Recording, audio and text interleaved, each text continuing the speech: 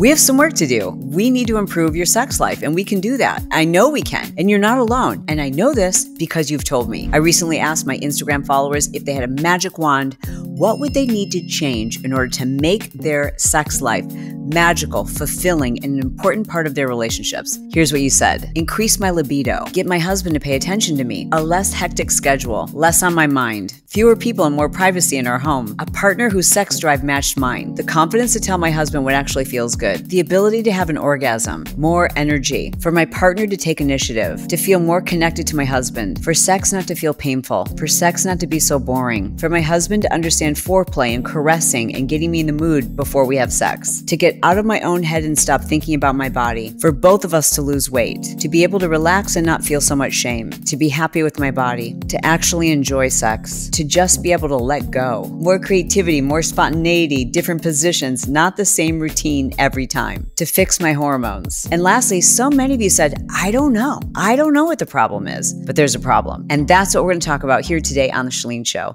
My name is Chalene Johnson. Thank you so much for joining me. Today, we're talking about this because this is what we do on The Chalene Show. We talk about things that make your life better. And ladies and gentlemen, your life gets better when all the most important areas of your health are addressed. And for whatever reason, we've kind of like pushed sex off into the corner. It's this thing that most of us grew up, if you're of a certain age, feeling like there's a major taboo, that it was something we weren't supposed to talk about, that it was something that we were embarrassed to speak about. And, and no one ever taught us what it was supposed to look like in a monogamous relationship. Like, who are you going to learn that from? How do you understand how to make sex better if it's something that we have put so much shame around it? In fact, the reason why I'm doing this episode is because on my Patreon, which is it's a it's a paid for podcast. It's a private podcast where I talk about private matters. Well, one of the things that I have really been studying in this season of my life, meaning being an empty nester, being someone who's been married for 28 years, I've really been studying like how to make our relationship more exciting, more fulfilling, more rewarding because it's a new season for us. And every season that I'm in, I always read books. I read the books, I listen to the podcast, I hire the experts. When we first had kids, I read all the books on parenting. When we first got married, I read all the books on communicating and what it meant to be a, a good spouse and like how to have a strong marriage and like no matter what stage we're in, whether it was raising teenagers or you name it, I'm I'm always trying to figure out like how can I be better at this stage? Because you can't just, you know, wing it. I mean, you can, but I, I want to be the best possible person I can be at whatever stage that I'm in. And it's always a new stage. So it's like, I want to go to school for that stage. And the stage that I'm in currently, really, re- what I feel like I need to do is what I felt like I needed to do was to figure out like, how do I make this stage really exciting, really fulfilling, really just like the best years of our lives. So, what I started doing was reading books about intimacy, which led me to books about sexuality and about sexuality in monogamy. And I started talking about this on my Patreon, and it made people so uncomfortable. Not everybody, but a lot of people. And so, like last week, I don't know if you listened to my podcast last week, but last week I had the situation where one of the people in my Patreon group was like, um, this just makes my skin crawl. You're obsessed with sex. What? I've only had sex with one man since the day I met him. And that's been now over 33 years. So, no, I'm not obsessed with sex. I'm obsessed with having the most connected, fulfilled relationship with one man. That's what I'm obsessed with. The thing that I realized in her like having she threw this like whatever she she made comments on in my Facebook group. What I realized is that conversation didn't just make her uncomfortable, it made a lot of you, a lot of women especially uncomfortable because if you're like I'm 54 years old and I think there's you know if you're a certain age, we just we weren't supposed to talk about those things. Think about it. When you were growing up, like the absolute worst thing anyone could call you was either conceited or the S word. I don't know if I'm going to get canceled if I say this on YouTube, but if someone called you the a right, then I mean that was the worst thing you could possibly be called when we were growing up. But today, if you don't understand your own sexuality and how to take it to the next level, then you're really limiting your own potential and the potential of your relationship. So today, what we're going to talk about are the things that need to be talked about in order for you to have a better sex life, to improve your libido, to understand what it takes to like learn these things. And we're, I'm literally just going to scratch the surface today. That's my goal. My goal today is to get you on the right path. I can't fix everything. There's like, there's so many specifics and so many nuances and so many things that are very personal to you, whether it's trauma. I mean, there's a whole host of reasons why people might be having average or no sex at all. To the people who want to stand for their sexuality and want to have great sex, but hit a wall, either a, a, physical wall or maybe they've had trauma, maybe they had, you know, maybe it's painful or they've had emotional trauma or they've just gotten bored with each other, which was really all that was wrong with my marriage was that I got bored. It's easier for men there's this really interesting thing about the sexes. You know, the masculine is testosterone dominant, and he's very steady state and very goal oriented, right? He's like a heat seeking moisture missile. and he can essentially have pretty much the same sex every time and be pretty satisfied. Where we women, being estrogen dominant, you know, we're kind of up in our heads, we're uh, thinking about a million things, we have a hard time settling into our bodies, and we need a lot more variety, and we have a massive pleasure potential that often stays unmet in our relationship because the masculine thinks, oh, it's really great for me. It must be great for her. But it's not as great for her. Now, as somebody who is postmenopausal, which means I have gone more than a year without having a period, that's what menopause is. As someone who is postmenopausal, there are a lot of conversations, especially in this community, of from women who are saying like, well, one of the reasons why sex isn't good for me now is because of vaginal dryness or hormones, right? So it could be PCOS. It could be because you've just had a baby. It could be because you're on birth control pills. Like all of these things, hormones do in fact impact your ability to enjoy sex, to have an orgasm. They can affect your mental health and your mental health is a huge component when it comes to your sexual health. Like, let's face it, you can't relax and get out of your head and actually let go and be free and enjoy yourself and be present if you're worrying about the bills, if you're worrying about work, if you've got stress and anxiety and kids and all these things, and then all of a sudden you're in bed and your partner wants to get it on, like the last thing you feel like doing is getting it on. So we assume oftentimes that it's our hormones. But is it always our hormones? When you think about libido, there's a couple of things. Okay. A lot of women think, okay, if my libido is down, it's my hormones. So, first of all, they think it's their problem, mm. not that they're just bored to death.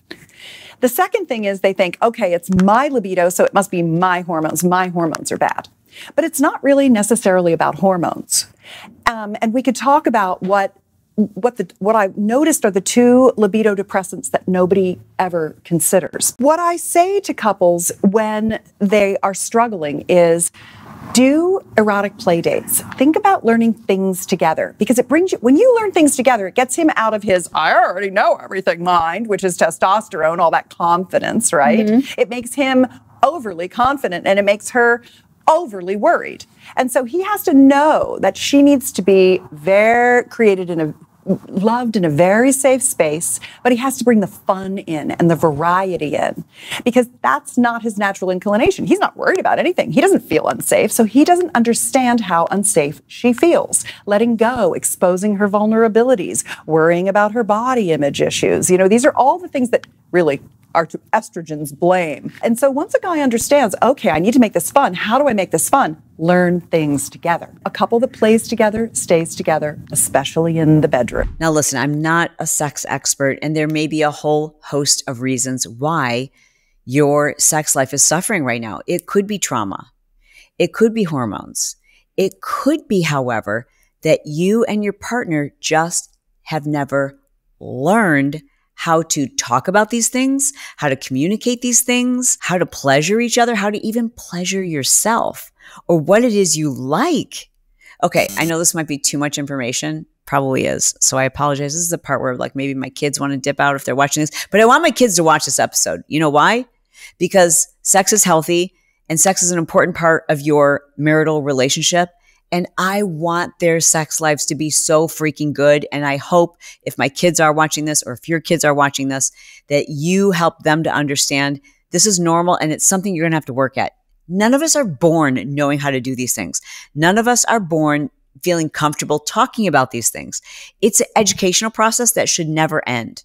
Think about it. What most of us learned about sex was either from an awkward conversation with one of our parents, like a singular conversation, if you were lucky, or you learned about it from watching porn, which is not really sex. Like literally, it's, it's the dumbest thing ever. Has, I mean, if you and or your partner have learned what you think are like things that work and get your significant other excited from watching porn, you are that's that's a big part of the problem because it's just it's not even close to reality. It's not even close. But I do want you to know, I want you to have some hope and I want you to know this. It is very possible to restore your libido and to turn things around for you and your partner and to have continually sex that just gets continually better and better and better. And I'm not the only one who thinks this. Esther Perel is like one of my absolute go to favorite experts on the subject of desire and sexuality. She's also done a whole series. I think she became super well known from her series she did about affairs. So if you haven't tuned in to Esther Perel, do so. She's got a, a, podcast that's called Where Shall We Begin? And she's got a couple of TED Talks. I'll link to them in our show description. But here's what she wants you to know about some of the myths regarding aging and sex. Sexuality and the connection and the intimacy improves when their sense of self worth improves, when they feel better about themselves, when they accept themselves more, then they, when they are less riddled with shame. It's all of that that goes into the experience. And because we live in a performance driven, industrialized place, we really would like to be able to quantify sex. How many orgasms, how hard, how long, how many pills, and all of that, rather than understand that the erotic is a beautiful, radiant interlude that is massively unproductive. It has no numbers. You can't measure it. It's a state of being. So maybe you're asking yourself, how do I know if the sex that I'm having is good sex or is it average sex? Like, like how do I know? Like, how do you compare it? Like, certainly you can't compare it to porn. If you're like me, like my girlfriends, we don't really talk about these. Like we do, but it's like so surface level. You know, so like, how do you know if there's more out there? If you've got greater potential? If you should be working on it and trying to improve it or if you're like this is as good as it's going to get like how would you know? Well here's how renowned sex expert tracy cox breaks down the very personal nuances. A sexless relationship is one where sex hasn't happened in a year and that's a low sex relationship to be 10 times a year. But it's all dependent on where you're at in life. Like if you if you've just had babies and they're under two, you're not going to be having a lot of sex. If you're 18, you just got together, you're going to be having an awful lot of sex.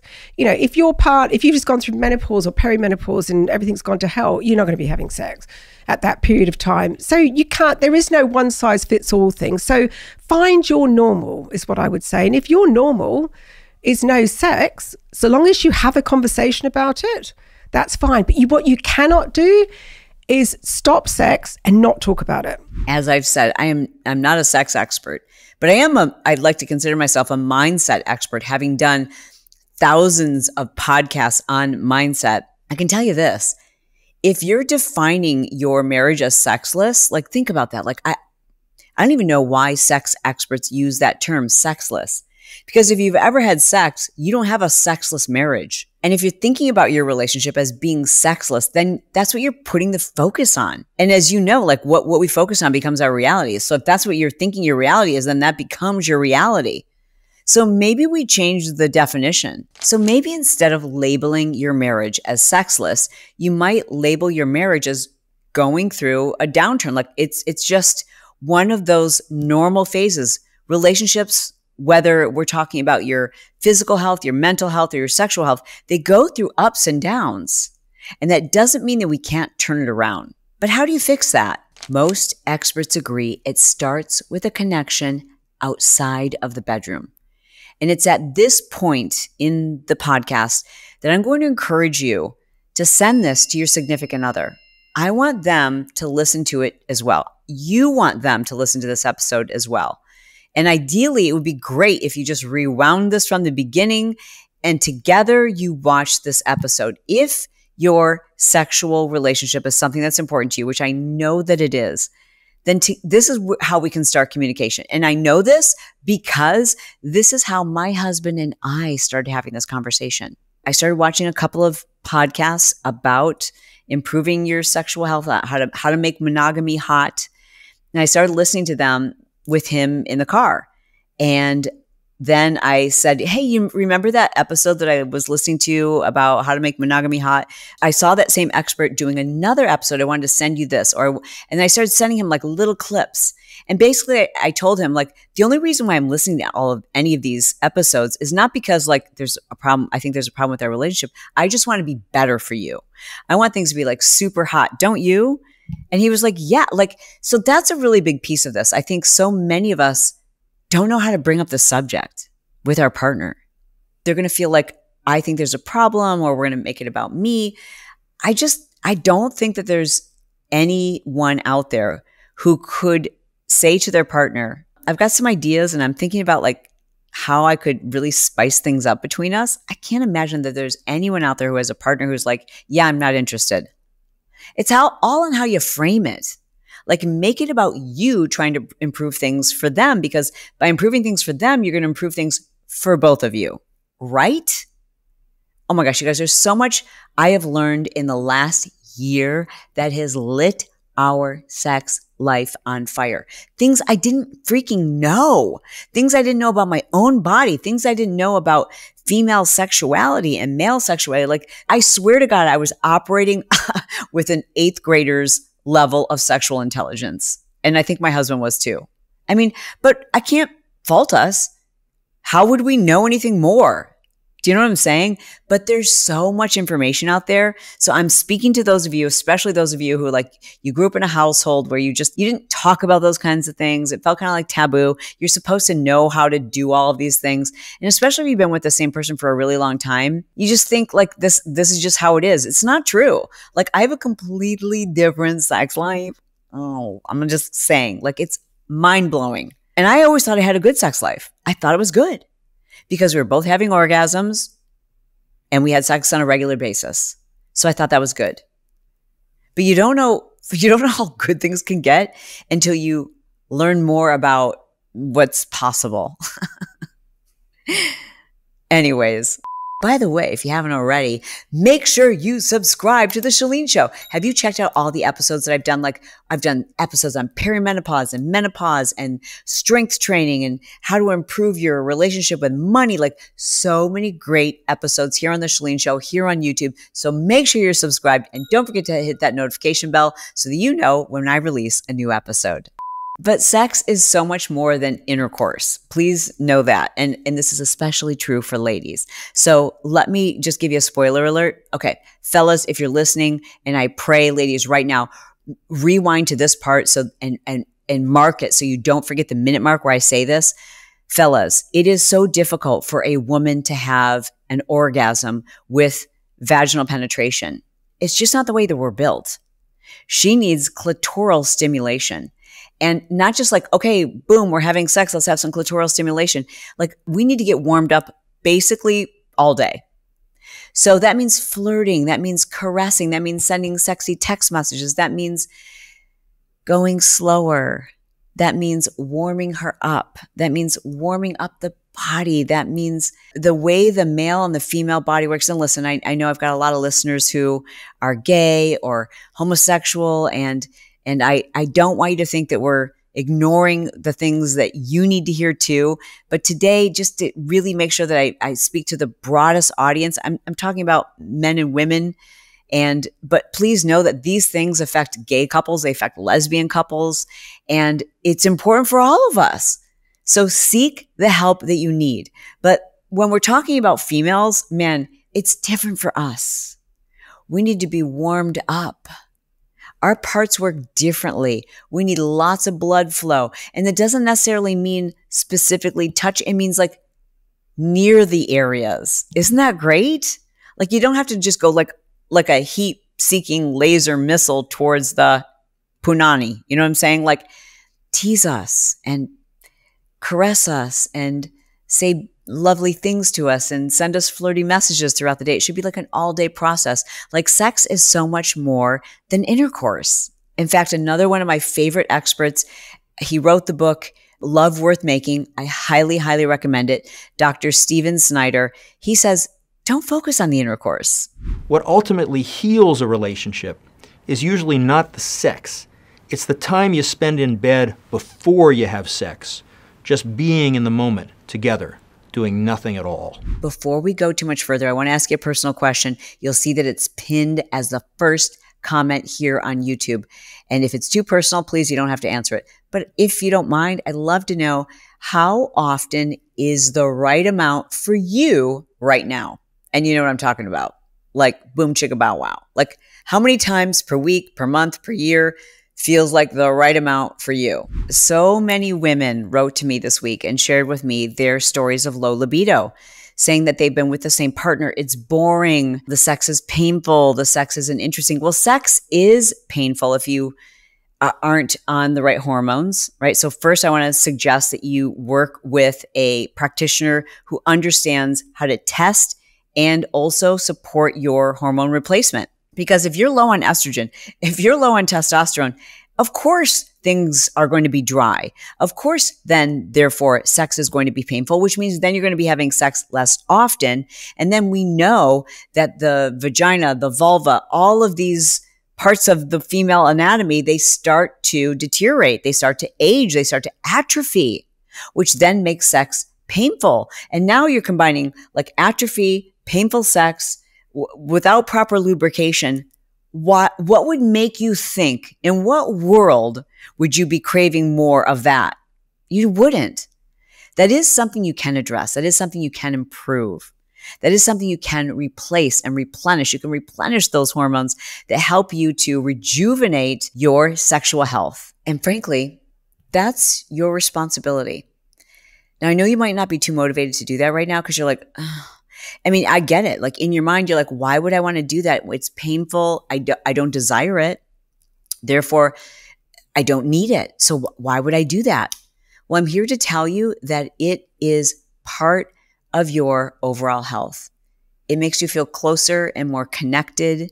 It makes you feel more confident about your body, about the desire that your partner has for you when you are connected on a sexual basis. So take the time to figure out how you can improve your hormones, but it goes beyond that. And that's why I want to encourage you to let this episode be your jumping off point. Okay. And again, I, I, want to use myself as an example because like I'm not the expert. I'm just somebody who's been on this path. And I like for you to think of me as your girlfriend who's telling you like, Hey, I'm just a couple of steps ahead of you or, you know, for some of you, you're a couple steps ahead of me, but for a lot of you, I, I just think it's like, if I can share with you what I've been through and by example, you can try some of those same things and it helps you in your life, mission accomplished, even if it just helps one woman. So I started listening to these podcasts and these books and I started like really trying to understand like, what is it I know this sounds crazy, like as a 54 year old adult woman, like that I'm understanding like how his body works and how my body works. I know that sounds freaking crazy, but as I'm like reading these books, and I'm going to link to some of them, including Come As You Are, including Eroticism, including How to Make Love Worth Having, and, and several others I'm going to list in our show notes. I started listening to these books as I started like really digging into the podcast and understanding more about my own anatomy, about human desires, about fantasy, about like the things that get a woman turned on. I was like, this makes so much freaking sense. And the more I was getting into it, the more I was talking to my husband about it. And I don't know about you, but I just can't imagine that you have a partner who you could say to them, like, I'm learning all these things and it's really exciting and I want to try this and I want to try that, that they're not also going to get excited. But the bottom line is this like, if I had to cut to the chase, it was understanding my own anatomy. and what it takes to get me in the mood that made the biggest difference of all. Now, listen, she is very over the top. I'm going to share with you one of my favorite experts. Her name is Susan Bratton. Now, she is like over the top. And some of the language that she uses, even for me, like e- even though I feel like I'm like really open minded now about sexuality and I'm a sex positive person, even some of the things that she says, I'm like, oh, my God, I can't believe she said that. Like it's, you know, it's a little bit shocking, but she literally has blown my mind. Like I've learned so much about my body and his body and and just toys and excitement and just different hacks and tools, but also and perhaps even more importantly about the importance of communication and the importance of like really getting comfortable with your body and getting comfortable with your partner and and learning about how all of those things make for a much more exciting sex life. So, again, listen, ladies, I am not your expert, but even if you can listen to a few of the podcasts that I'm going to link below from Susan,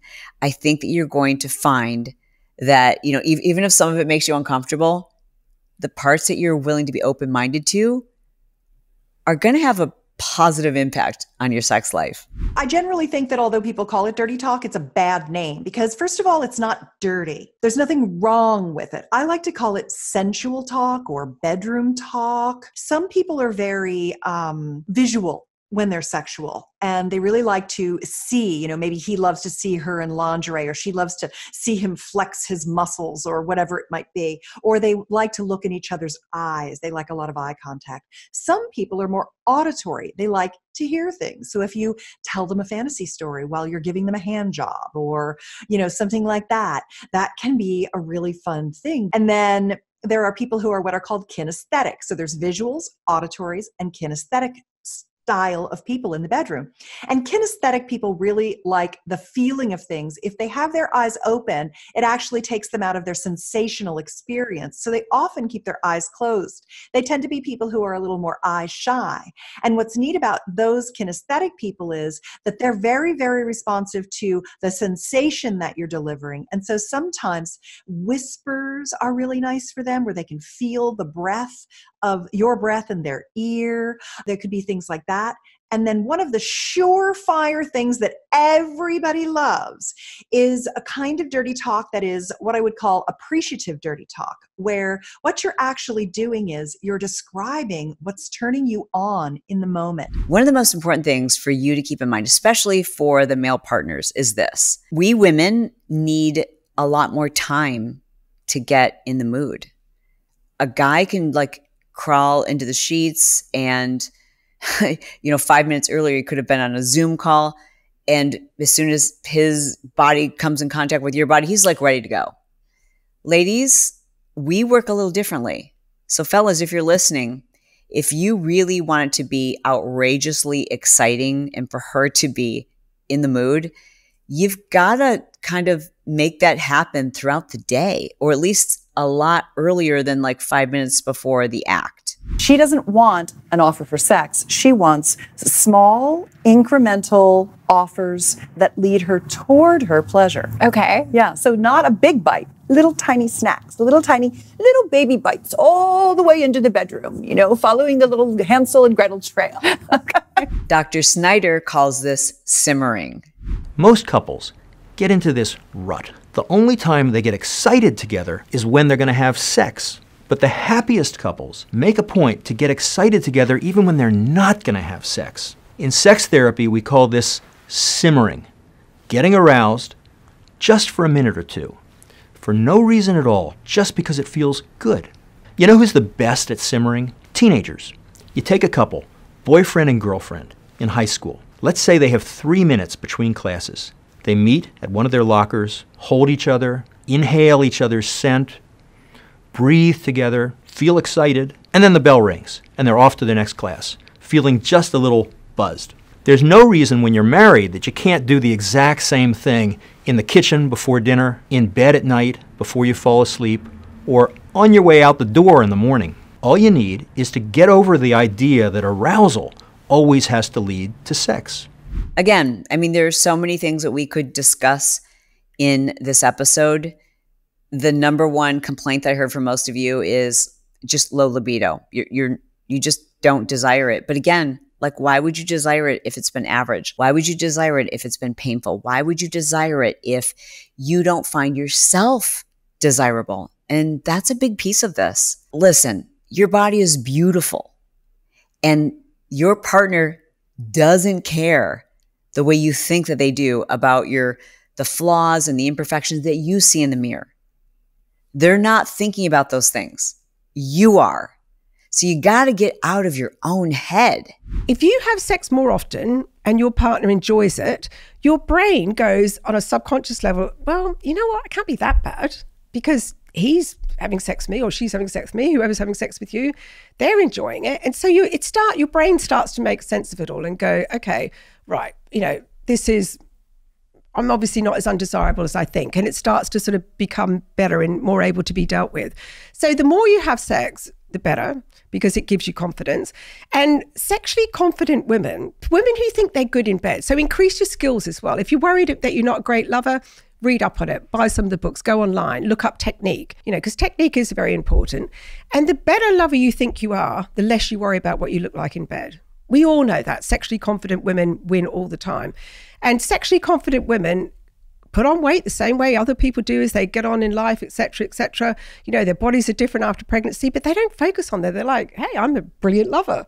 Who cares? You know, he's not looking at that. He's just thinking how fantastic I am focus on becomes our reality. So if you can start to focus on things that make you feel good, and I have a lot of also exercises in the book about how to do this, like really like mirroring exercises where you're looking at your body in the mirror and you're looking at the things that you actually do like and appreciate about your body. I mean, mm. you have to get comfortable with your own body naked because if you're not comfortable with yourself naked, how are you going to feel comfortable naked with anybody else?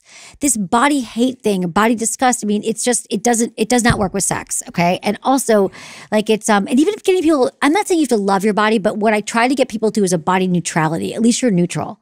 If you're just neutral, you're like, I accept my body. It's just, it's going to help you so much in the bedroom, feel connected to your sexuality. Because then you realize like, we all just have these bodies, and really, like so much of sex is your is your brain and your body connection. And so, if you can start just thinking thoughts that are going to make you feel feel better about it, and removing things like negative accounts or people that make you feel bad, then that's this is really going to help yeah. you. And people who deprive themselves, or you see bodies that you think are you know, a lot of people who are who are depriving or not eating, or maybe they're really like thin or whatever you are aspirational. I see people who are depriving themselves like deprivation does not lead to desire. And improving your physical health is less about your body image and more about like your your physical health does have an impact on your sexual health. Hello.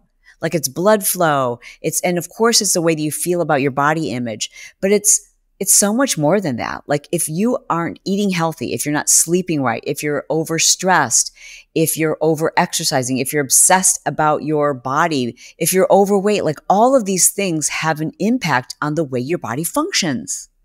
So what do you need to do about it? Do something about it. You know, I, I don't know if it's possible for you to be attracted to someone else if you're not first attracted to yourself. I really believe that to be true.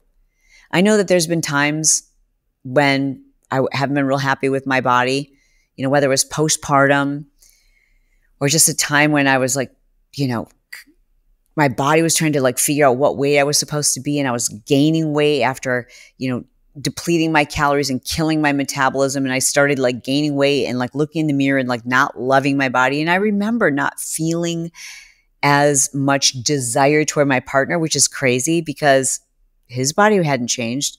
His body still looked amazing, but I wasn't as in the mood because I think, I don't know if this is true, but I feel like women, we kind of have to be like, I don't want to say turned on by ourselves, but like we at least have to find ourselves desirable, right?